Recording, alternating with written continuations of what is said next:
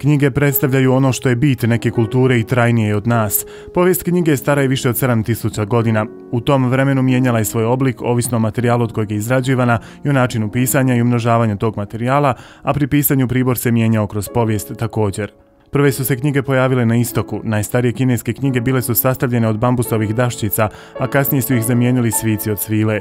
Stari babilonci, asirci i perzici utiskivali su drvenim štapićem znakove umekane glinene pločice koje su zatim sušili i pekli.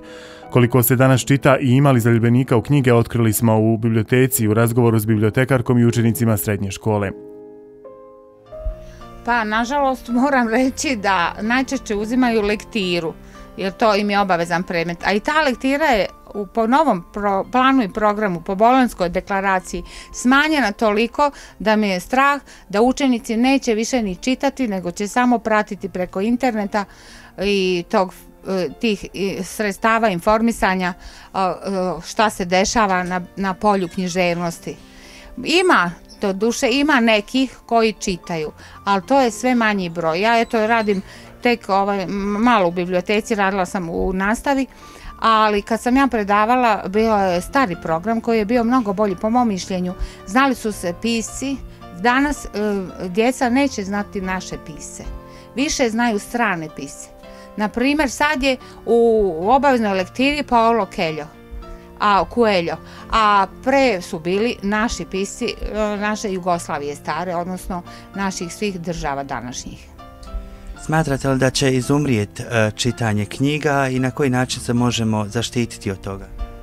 Pa mislim prvo da prvenstveno treba taj plan i program da se uskladi i da se prilagodi tome da djeca čitaju, jer im je jako loš riječnik.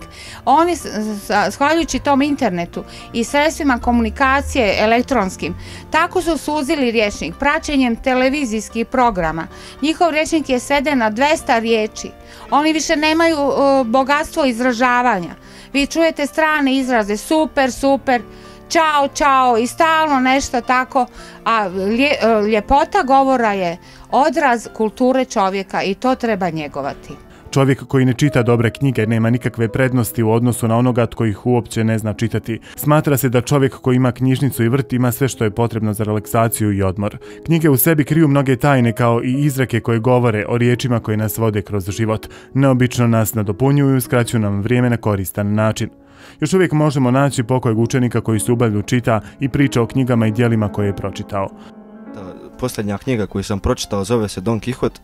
Tu se radi o jednom starcu koji pročita jednu knjigu o vitezovima i e, on kreće, on kreće u razne postolovine kroz koje prolazi. Jedna od najsmješnijih scena meni je e, ta kada se zalijeće na, na, na, sa svojim konjem, zalijeće se na vjetrenječe. E, volim mnogo da čitam knjige, E, posljednja knjiga koju sam pročitao je Harry Potter. E, mislim da je knjiga je odlična, govori se o dječaku koji, koji posjeduje moći, koji uspo, e, sa svojim prijateljima savladava sve nevolje.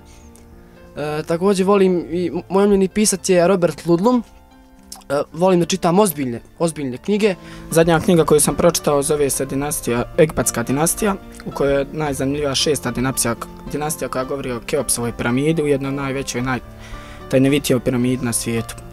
Isto tako preporučio bih knjigu Da li su bogovi bili astronauti, koje se navode teze raznih učenika u kojoj bi učenici mogli raspravljati i upoređivati svoja znanja jedno sa drugim. Knjiga može biti idealan poklon, mali znak pozornosti za one koje najviše volite. Provedite jedno poslije podne uz knjigu i zaboravite na sve brige koje imate tog dana.